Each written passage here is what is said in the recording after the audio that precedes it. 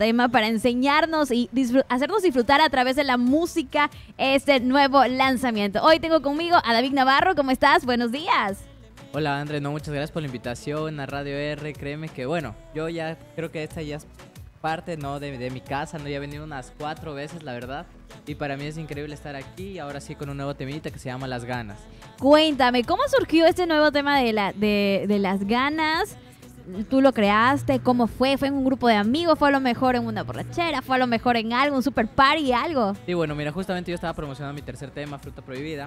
Entonces estaba haciendo una gira nacional de medios, tenía shows y bueno, justamente se contactaron conmigo dos compositores colombianos increíbles eh, que ya habían compuesto para Manuel Turizo, para Sebastián Yatra, y me mandaron así varios temas, me dijeron, oye, nos gusta tu proyecto, queremos como que apoyarte porque vemos que, tienes potencial, nos gusta lo que haces, y bueno, te mandamos algunas composiciones que nos han querido artistas, y bueno, mírale, ahí cuál te gusta, ¿no?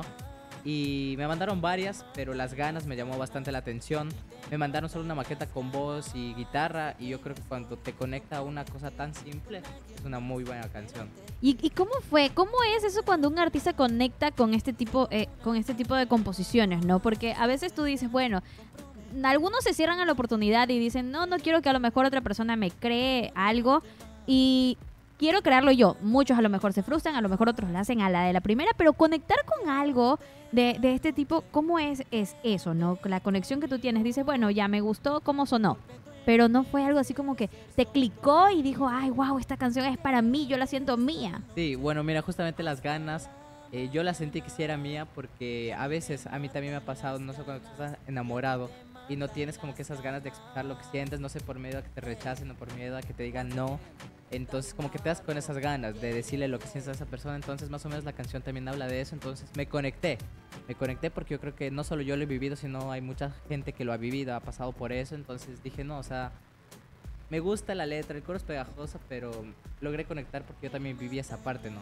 ¿Y cómo fue? ¿Cómo fue todo ese proceso eh, de lo que has vivido? Porque te identificó a ti también, ¿no? Pero me imagino que a tus, a tus fanáticos también los marcó de alguna otra manera y dicen, wow, yo me identifiqué con este tema, a mí me gustó, a lo mejor cómo, cómo sonó esta, esta canción en, en la voz de, de, de, ti, de David. ¿Cómo fue todo eso? Sí, bueno, yo cuando saqué el tráiler o el teaser, ¿no? de la canción, les encantó, o sea, ya decían, oye, ya quiero que la salga, o sea, que salga, porque conectaron, o sea, dicen, sí, hemos vivido esto que nos estás contando. Y fue increíble porque ya cuando la saqué, recibí una llamada del manager de, del Titi, de, Gregorio Peña, del actor de ah, ¿ya? Paraíso.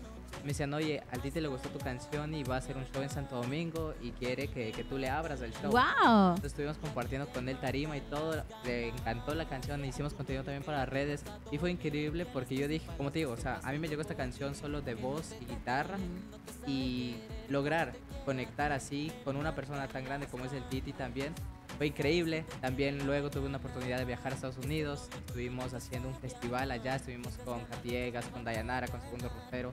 Y fue increíble. Creo que fue que en diciembre, ¿no? El año pasado, si no me equivoco. ¿Qué tal fue esa experiencia? Fue increíble, te juro, yo nunca había salido del país para shows, fue mi primer show internacional, así, y imagínate, fue para toda la comunidad ecuatoriana que, vive allá en Estados Unidos, entonces fue increíble, fue increíble porque ya toparme con estrellas, sabes, como Dayanara, Catiegas, Segundo Rosero, que yo crecí viéndoles a ellos y ya estar compartiendo tarima con ellos, para mí fue un sueño hecho realidad. ¿No te sentiste un poquito nervioso, como de pensando y tantas cosas, y tal vez lo voy a hacer mal, a lo mejor me, me va a fallar algo ahí, los nervios, me imagino que tienen que estar brutal todos sí, esos nervios. Sí, siempre, pero a mí me han dicho que cuando no hay nervios, ya es, o sea, ya no disfrutas lo que haces, ¿no? Entonces, siempre hay nervios, pero, o sea, yo veía los artistas ya se subían y decían, no, o sea, hacen un buen show, yo no me voy a quedar atrás, entonces, aunque esté nervioso, vamos a ir con todo y la gente la gozó y la disfrutó bastante. Tanta, tanta alegría, tanta emoción, me imagino, por llevar eh, fuera tu música también. Claro, imagínate eh, sentirte eh, ya como que, bueno, tú eres artista desde el momento en que tú ya dices, bueno, te dedicas a esto, trabajas en esto, lo sudas, lo luchas, pero ya cuando ya tienes la oportunidad de irte afuera, así sea, me imagino un concierto, lo más chiquito tú te sientes, me imagino, súper orgulloso desde ese punto de vista, como que estoy llevando la bandera, la bandera de mi país. No, créeme que sí, justamente como era para un show para todos los ecuatorianos que residen allá, o sea, fue increíble la acogida, el público y sí, como te digo, o sea, había mucha emoción, adrenalina, nervios también porque tú sabes que todos esos artistas que te mencioné ya tienen su recorrido, han tocado en varios festivales, escenarios, y yo tocaba en un escenario, o sea, mi primera vez internacional. Entonces yo dije, "Chut, hay que prepararnos bien y dar lo mejor, pero sí, todo salió súper bien. Dices, es real, es real, ya lo estoy Sí, haciendo. Sí, no créeme, o sea, fue increíble. O sea, yo hasta ahora solo sueño de decir, chévere, o sea, espero que sigan pasando cosas así. Oye, ¿y cómo fue todos los, los arreglos que tuviste que realizar del tema, de, de, de- de las ganas? Eh, todo lo que tienes que hacer, porque imagino que ya tiene su video musical, ¿no? Sí, claro que sí. Bueno, el video justamente, como yo viajé allá, eh, Aprovecha. aprovechamos a grabar en Nueva York. Entonces puede mostrar lo que es Times Square, Brooklyn, Central Park, las partes más emblemáticas de la ciudad. Porque también, o sea, aparte del festival, estaba nominado en los premios Unidad allá. Y Mm. ganamos como me- mejor video ¡Ay, musical del año. Entonces, como que yo creo que todo se juntó para que salga increíble. Y bueno, gracias a la acogida que tuvo este tema, vamos a sacar un acústico este domingo del mismo tema. Y ya tiene un video oficial también increíble. Oye, qué increíble, qué súper... No te sientes tan emocionado de todo lo que está pasando porque es como que los planetas se alinean y todo está. Pudiste grabar tu video musical, pudiste compartir con gente del extranjero, también nominado a unos premios y todo el reconocimiento que te dieron. No, sí, o sea, créeme que yo creo que cuando las cosas son de ser, Ujú. son de ser. Y ayer también fue una noche increíble porque estuvimos en los premios de Remstice. Ay, sí, no podemos Entonces- estar nosotras. Tal, vez a lo mejor nos conocíamos anoche ahí. Sí, no, créeme que estuvo increíble igual, conocer a Alex Ponce. Sí, un artista increíble. Andreín, o sea, fue increíble Douglas Bastías también. Entonces, ahí compartimos alfombra roja, entrevistas, fotos. Entonces, créeme que yo digo, o sea, yo ahí digo cuando, o sea, que el trabajo vale la pena, ¿no? Ujú. O sea, a veces quieres botar la toalla y todo, pero cuando te pasan estas cosas, como que no, o sea, tú puedes ir adelante y que sí puedes llegar. Si tuviste momentos en donde dijiste ya no, ya no, no más, o lo abandonaste, o simplemente te dio un bajón y luego continuaste. Sí, yo creo que sí, creo que, no sé, a todos los artistas que somos independientes a veces nos puede pasar eso, ¿no? Porque a veces no ¿Y salen las cuál ha sido tu, mo- quieres. tu motor en ese momento? Yo digo que, que mi mamá, que también es mi manager, como que me impulsa a seguir porque me dice, oye, no, ya llevamos dos años trabajando, imagínate, o sea, no conocemos de la industria y hemos logrado todo esto que te cuento, reconocimientos de aquí del país, fuera del país, entonces como que vamos bien, o sea, no puede ser grandeza así, Exacto. pero va a llegar un día en que, no sé, yo siento que voy a tener mi primer hit, y ahí sí, abre. Cada, cada, cada, cada tema es un kick realmente. Que, Sí. que salga, que salga de, de nuestro corazón también y que a nuestros eh, fanáticos le- les guste. Y yo siento que también con ellos. Exacto, esa, esa es la recompensa que nos que tienen los artistas, eh, diferentemente de, del- de la rama del arte que vengan, es algo muy bonito eh, conectar con la gente y llegar a, a ese público que a lo mejor te dice, imagínate, llegas a conectar fronteras, como me dices que en este momento pasaste y conociste eh, esta parte muy bonita de- de- del Titi, que muchas personas a lo mejor dicen, wow, imagínate llegarle a agradar este, a personas de afuera que te digan, oye, quiero que abras mi concierto. Y así se van a abrir muchas puertas para ti. Y qué chévere, qué cool que sepas aprovechar todas estas oportunidades. Y nosotros aquí, realmente, las casas, de- la, la casa de Radio R está siempre abierta para darte la apertura en los temas de lo que tú quieras hacer aquí, porque siempre estamos dispuestos a apoyar a los artistas nacionales, que eso es lo más importante. Si nosotros no nos apoyamos entre nosotros, o sea, imagínate cómo vamos a surgir Claro. también en eso. No, sí, créeme que cuando a mí me llamó el manager, yo no lo podía creer, o sea, yo era como que, ¿en serio?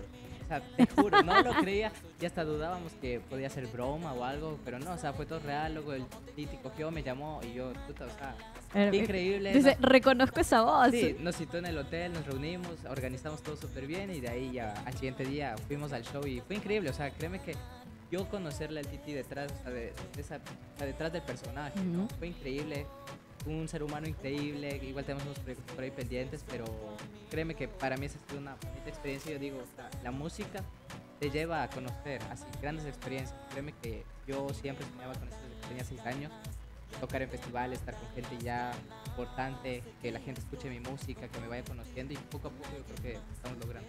Oye, cuéntame, ¿la acústica que vas a tener ahora va a ser abierta al público? ¿Va a tener algún tipo de costo para que la gente que está escuchándonos en ese momento pueda saber y a apoyarte? Sí, bueno, mira, justamente el video ya se lo grabó. Porque justo es una versión acústica con video y todo. Y solo les diría que me vayan a apoyar en las redes sociales. Que Ya. me vayan a seguir en, en TikTok, en Facebook, en Instagram y en YouTube como David Navarro Music. Porque el video sale este domingo a las 6 de la tarde. Ah, mira tú. O sea, ya está grabado, está increíble. Premicia. Sí, o sea, primicia. Y yo digo, o sea, mucha gente me pedía, oye David, haz un acústico. Haz un acústico de este tema.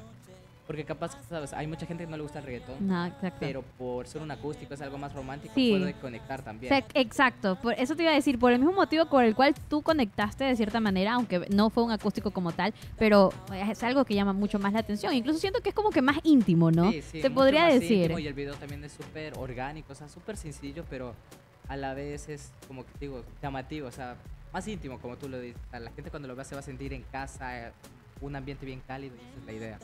Oye, ¿tienes planeado alguna gira por aquí Guayaquil? ¿Por qué parte del Ecuador? Sí, mira, justamente eh, en abril vamos a empezar una gira nacional con el nuevo tema que se llama De Bar en Bar, que es un tema con una fusión regional.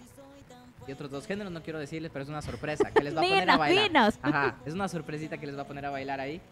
Todo te digo, puede ser regional con algo de papayadada. Ah, ya me encanta. Yo por soy ahí, fanática. ya. Yo amo eso. Entonces, eh, ajá, vamos a embarcarse en una gira nacional de 15 ciudades con ese temita. Tenemos varios shows también previstos acá para la ciudad de Guayaquil, en Quito también, en Cuenca también, en Loja también.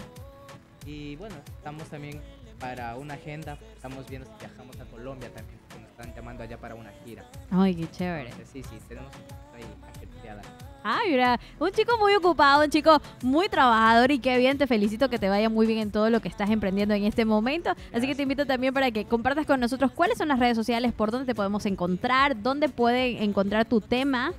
Sí, claro, sí, bueno, me pueden seguir a todas las redes sociales. Estoy como David Navarro Music en Instagram, en Facebook, en TikTok, en YouTube también. Y bueno, mis canciones ya están disponibles en todas las plataformas digitales, en Spotify, en Apple Music, en iTunes también. Pero yo qui- quiero pedirles a todos ustedes que me apoyen en Spotify. Vayan a escucharlos ahí, que ahí ya está todo mi, mi catálogo disponible. Así que ya saben, también pueden solicitar el tema de David Las Ganas aquí a través de 0967-4733-98. Solicitarlo las veces que tú quieras y también puede posicionarse dentro de nuestro top nacional de las canciones ecuatorianas más escuchadas a lo largo de la semana aquí en Radio R. Si quieres apoyarlo también, ya sabes que esa es la manera, o a través de Spotify y las redes sociales que nos menciona. Ahora sí, presenta tu tema para que todos lo conozcan. Claro que sí. Bueno, primero que nada, muchas gracias a ustedes por la y bueno, a toda la gente que está escuchando Radio R, yo soy David Navarro y les presento mi tema Las ganas.